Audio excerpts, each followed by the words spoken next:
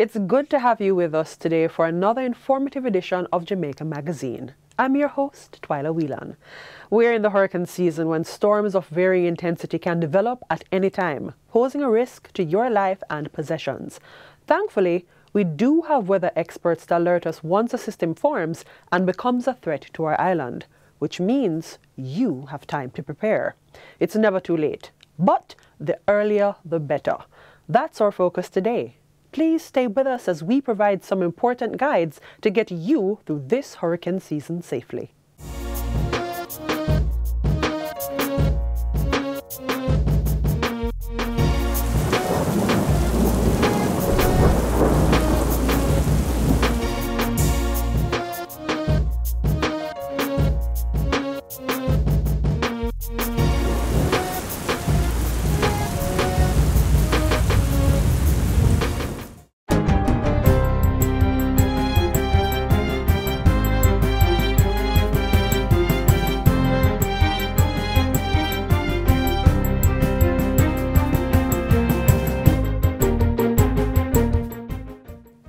I am Adrian Atkinson and this is your JIS News for Wednesday, July 3, 2024. Persons needing critical health care are being urged to seek accommodation as near to a hospital as possible. The call is being made by Chief Medical Officer Dr. Jacqueline Bisasor McKenzie. In terms of mothers making sure who are about to deliver within the last month of um, their pregnancy to ensure that they're near to delivery sites so that they won't have problems getting to a delivery site in case they go into labor.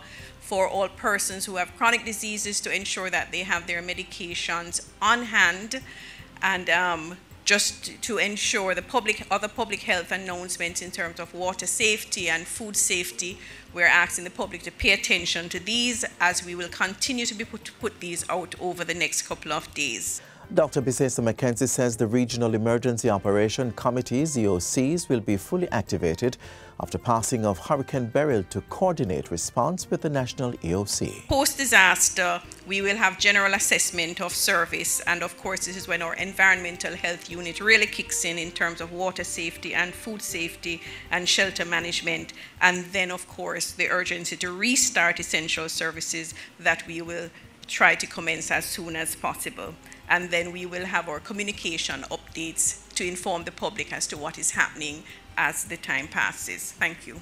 Since yesterday, all public hospitals have entered emergency mode. This means that while hospitals remain open, outpatient services and elective surgeries are suspended and visitations will be limited. Additionally, the Jamaica-Cuba Eye Care Program is suspended until further notice. The Ministry of Labour and Social Security is assuring that welfare measures have been coordinated to do things such as damage assessments and the delivery of care packages once Beryl has passed. Portfolio Minister Pearnel Charles Jr. says the team has been activated since Saturday doing the necessary audits. Now, our team has been activated. Uh, PS and team have been meeting uh, from Friday, Saturday, to ensure that we do the necessary audits um, we um, have audited in terms of ensuring we have food packages, hygiene kits. Uh, we are now on the way in terms of preparing more while we watch and monitor to ensure that in a staggered approach uh, we are ready to supply as necessary. Minister Charles Jr. says measures are in place to distribute supplies across the island. As we are the ministry with our social workers that will be out that we're ready in terms of transportation and communication.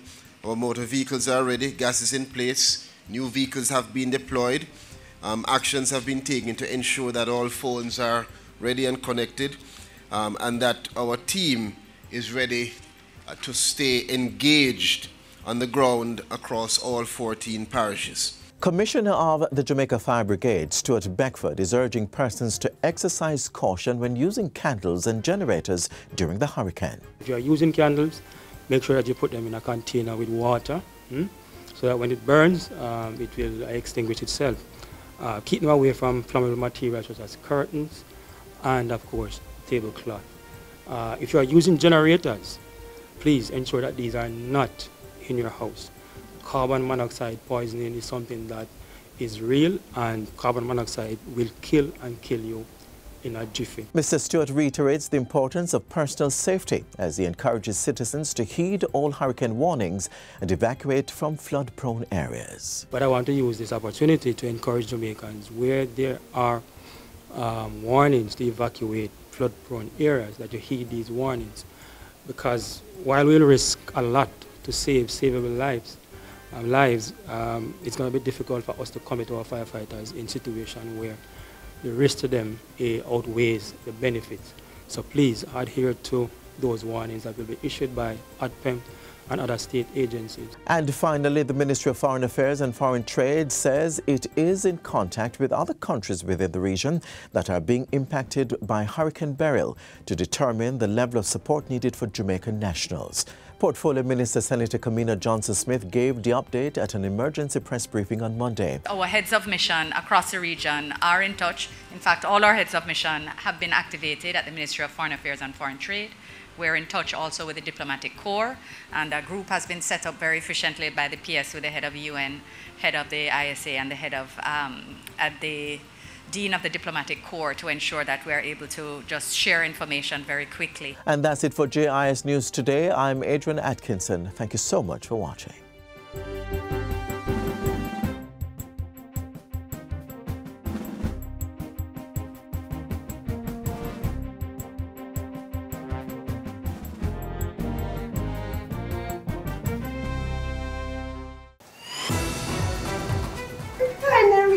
Part I show they cut it. Talking about that, listen to this.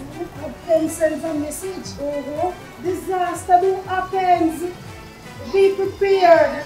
The municipal corporation reminds us of hurricane, earthquake, flooding, you name it, and preparedness. Mommy, we really have to take this thing seriously. Mommy, where's the emergency shelters? Samir. Primary school, churches, community centers. Know your nearest emergency shelter. Protect your family during any natural disaster. Be prepared. Visit the ODPEM website at odpem.org.jm to find the shelter listing for your parish. Know your emergency shelters.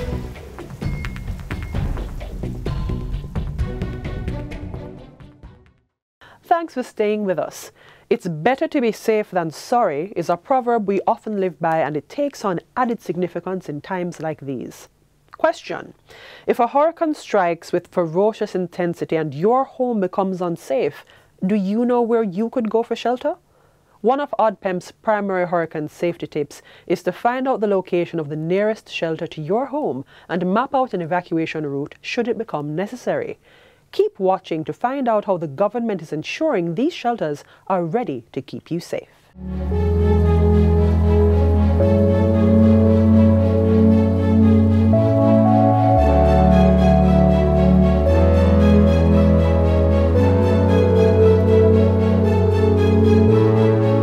We are now putting in place the necessary early warning systems in Port Maria new sophisticated early warning systems. 15 systems have been put in place in Port Maria that will alert that town to any danger that is on the horizon. The two telecommunication firms in the country confirmed their commitments to work with the ODPEM to provide a messaging system for Jamaicans on their phones. You'll be able to get live notices on your phone. We would have already put in place all the necessary radios in their various locations. The Jamaica Fire Brigade, the police, every arm of government is equipped to communicate before and after.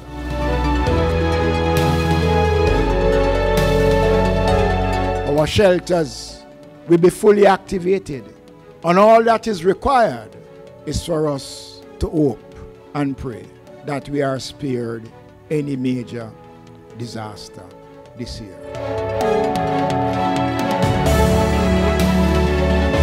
Throughout this program, the ODPEM seeks to ensure a constant stream of emergency supplies, inclusive of relief items, emergency response supply items.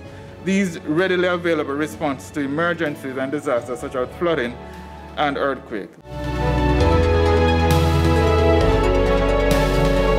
Many schools are used as shelters and they should leave it when they, when they leave in the same condition that they would have gone into or better. So we take care of the facilities and ensure that we are leaving the schools in proper condition for our children who use it on a regular basis. In terms of taking care of our school plant, we have had, you know, some experiences, negative experiences over the years, but we know that it is not the general desire of persons to destroy what is here. We just want to remind you, however, that we need our plant to be available for our children after the disaster would have passed. So if you do come, we are of course expecting that you are going to treat it as you would treat your own home. It would be unfortunate if the shelter managers are forced to evict anyone for violating the protocols that is set. And you know, let me be frank with you right now. It's time now we become more responsible. So I am expecting that one, nobody will attempt to cook in the shelters because that is not going to happen. This government since 2016 have made arrangements that once the shelters are occupied, we will provide food supplies for persons within the shelters. So the rules that are laid out are clear. It is written all over the board. I am pretty sure that the persons coming to the shelters will abide by these protocols. I, I have no doubt that they will. But if they break the rules, then the, the, the shelter managers have that responsibility to restore law and order. We will continue to keep the public abreast as to where um, will be the, the, most vulnerable areas for us to uh, activate shelters. And those shelters uh, that are activated will also be published through our social media and the general media channels.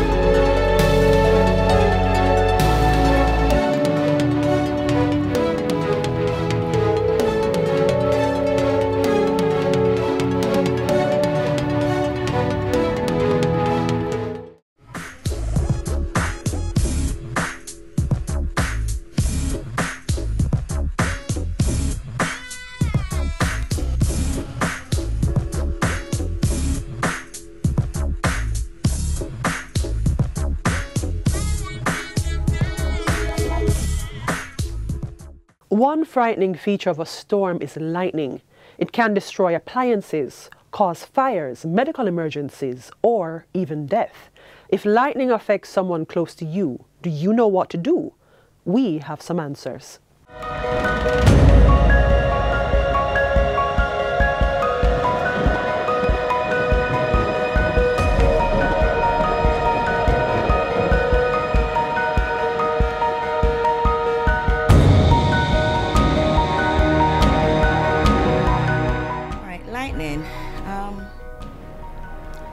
It is a very impressive geophysical phenomenon that produces the loudest light and the loudest sound. Um, as we know, it's very prevalent in the summer months, and uh, for Jamaica, that actually means that it's also prevalent in our hurricane season.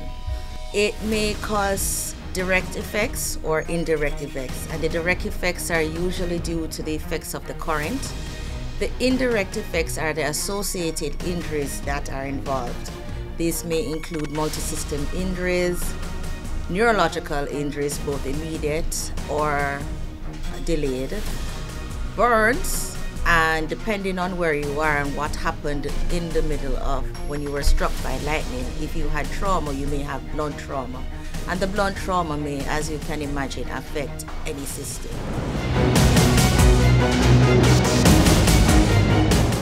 are responding, um, we need to ensure that we have the chain of survival involved.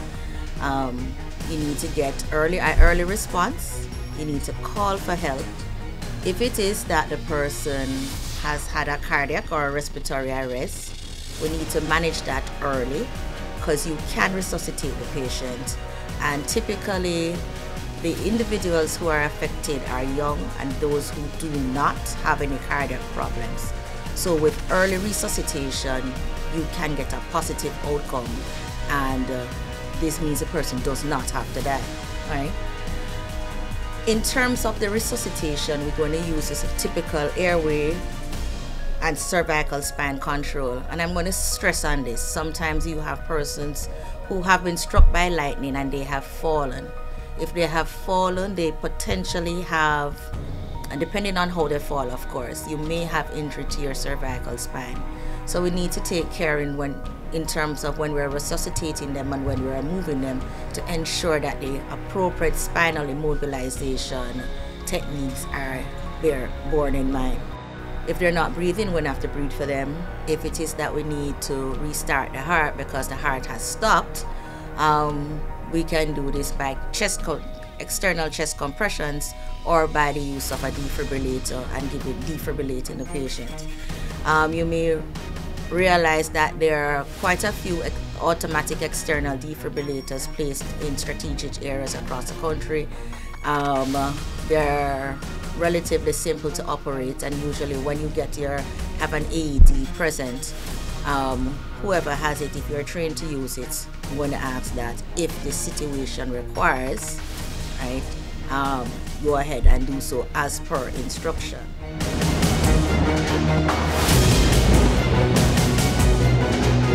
You need to pay attention to the weather forecast.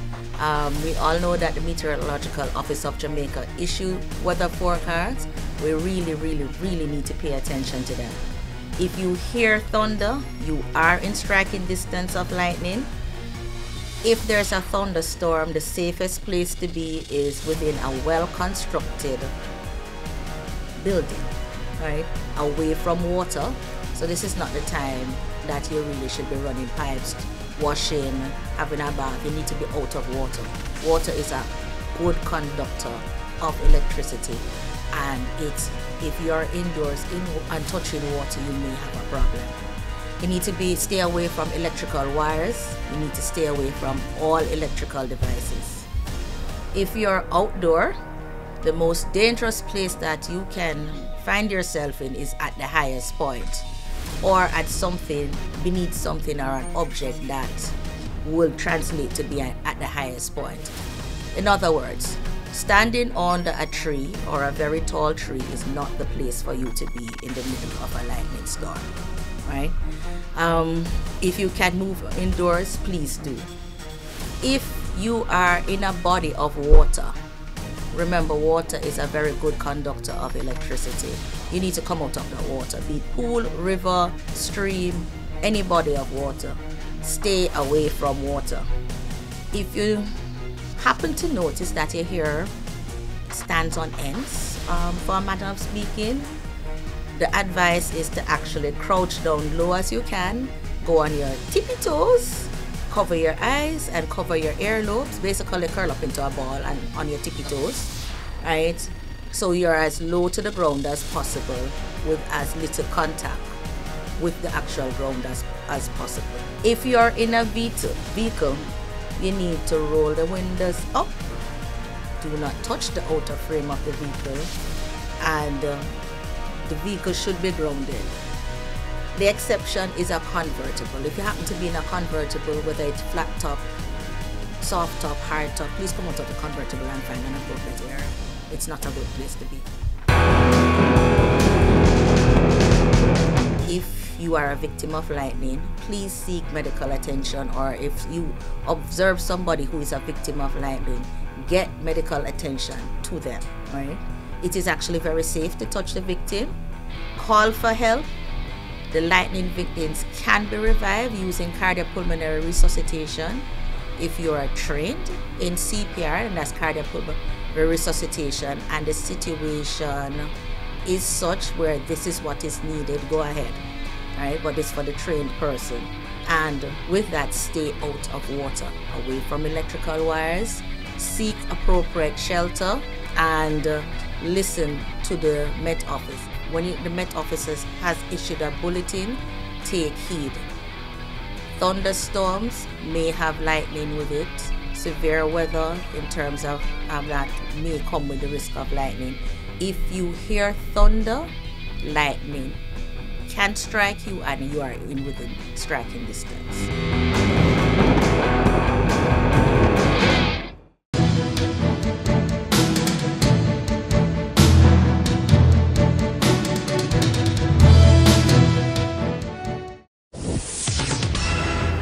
Tropical Storm Hugo has been upgraded to a hurricane and is expected to impact Jamaica.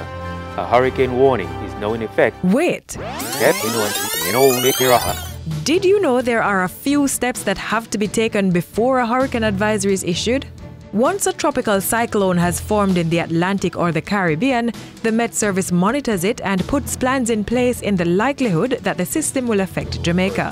Hugo we required additional staffing, especially for. These include increasing the number of technical staff working at the National Meteorological Center and the number of upper air observations daily, and ensuring that the weather and technical equipment in the office are fully functional. They are in constant dialogue with the National Hurricane Center in the United States, which provides regular updates on the system.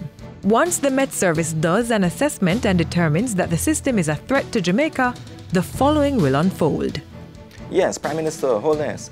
Yes, Evan Thompson here from the Met Service. I'm really just calling to, to update you on the situation with Hurricane Hugo. It continues to move closer to the island, and so we believe that it, it will be necessary for us to move to that hurricane warning. Um, so we're just making sure that we have your approval. Then? Hello, yes, hurricane specialist, please. Hi, how are you doing? Evan here again from Jamaica. Right, I've just spoken with the Prime Minister. He's in agreement that we'll go to the hurricane warning by 5 o'clock this evening. That's correct. The National Hurricane Center publicizes this information internationally, and the Met Service prepares and sends bulletins to the local media. And that is how we get here. A hurricane warning is now in effect for the island. And as the country prepares for the weather system, the Met Service continues to play a critical role in the country's disaster readiness, providing information to the Office of Disaster Preparedness and Emergency Management and the local government ministry. These entities use this information to determine which areas on the island should be evacuated and where shelters should be opened. That's not all. The Met Service also works closely with the Coast Guard to evacuate fishermen at sea, on the quays and banks before the storm hits. That is how the Met Service keeps Jamaicans in the know so that they can better prepare for any severe weather system.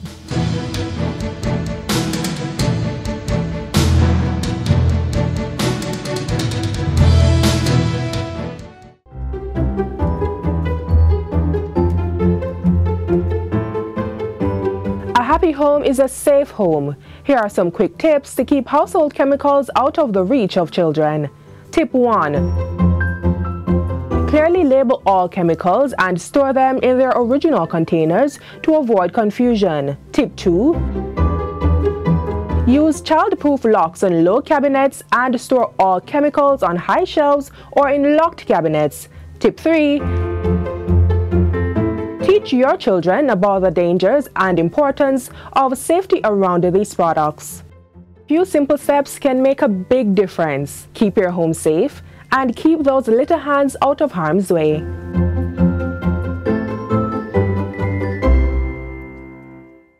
Before we end today's show, our last piece of advice to you is self care. Take it seriously.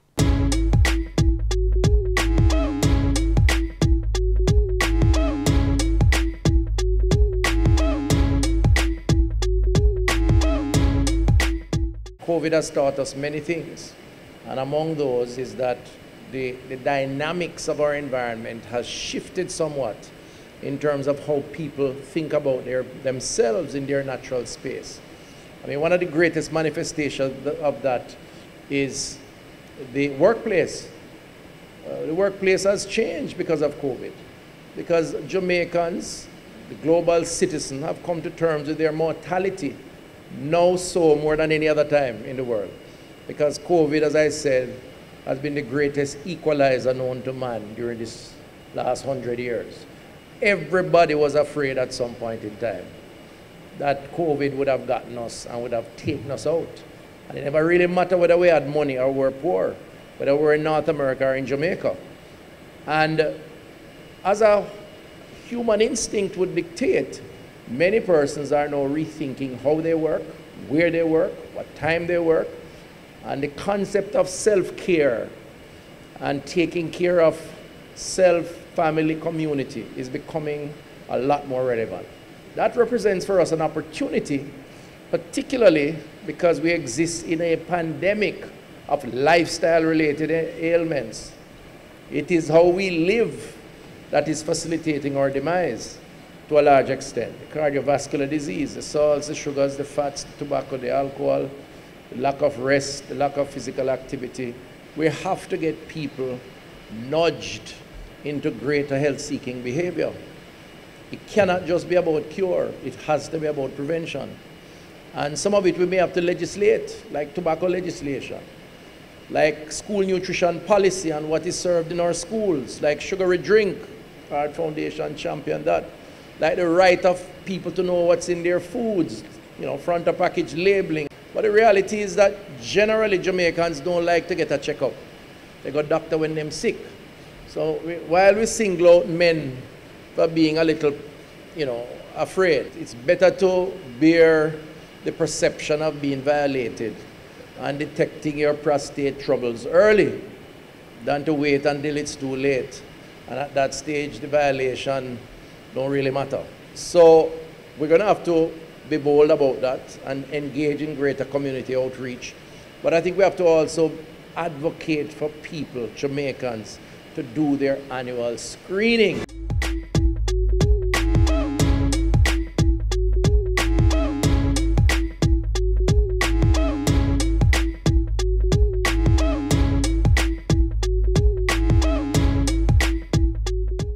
Motorists, when driving on the road, here are some simple reminders. Look out for and extend courtesy to all road users. Give plenty of room to pedestrians, especially in wet weather.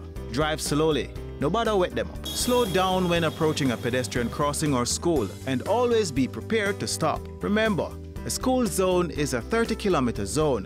Cut your speed. Drivers of large and slow-moving vehicles should always keep in the far left hand of a dual carriageway. Keep it simple. Drive left and pass right. These are just simple reminders of your road duties. Drive safely. This is where we leave you on today's edition of Jamaica Magazine. Be sure to join us tomorrow on this station for all the information you need to know until then, visit our website, jis.gov.jm, for this and more offerings. On behalf of the entire production team, I'm Twyla Whelan, reminding you to be safe during this hurricane season. This has been a production of the Jamaica Information Service, the voice of Jamaica.